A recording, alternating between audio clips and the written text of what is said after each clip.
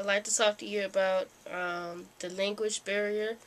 When my daughter, when she was in the baby class, she had a speech problem.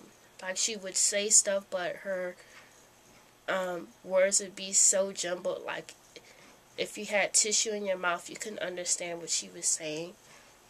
But ever since they um, suggested she go to to another school to help with her speech. Both teachers in the Head Start and her other school had worked together with her so she could um, speak properly. So now she's four years old and now she could speak just like if she haven't had any problems.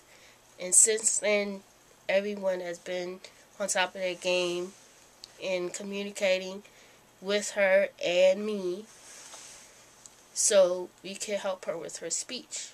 So now she doesn't have to do uh, speech therapy.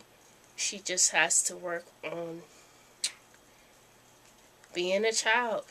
Because of this school, um, I've learned how to be a better parent too. Um, I haven't had a kid in here since my son was three, and that was way back in 2003. But since then, I've learned how to be a better parent and be more involved in the school. I think I've I've chosen to be more involved in this school than with my own job. I mean, I volunteered so much when I first started here. When I first uh, had my son come to this school, I was here every day. Um, and I was here so much it was like the staff the staff already knew who I was and they already knew whose parent I was. So it was just like they automatically put me on the parent advisory board. So I wasn't really shy. But I'm glad I was here to volunteer because that was my only child. Because if I didn't get involved, I don't think I would be here today with my other two kids and and um because I really wanted to know who was taking care of my child and getting to know the staff. But I'm glad I decided to volunteer because if I didn't I wouldn't be here right now.